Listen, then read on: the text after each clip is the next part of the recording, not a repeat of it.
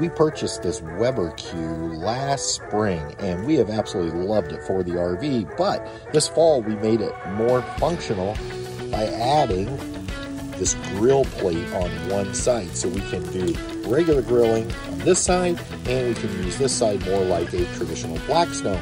Now, it's not super huge, but you can see I have an entire package of sausage links here from Johnsonville on this side. Once these are done, I'll go ahead and throw on our eggs, and we will have breakfast right here on our Weber Q.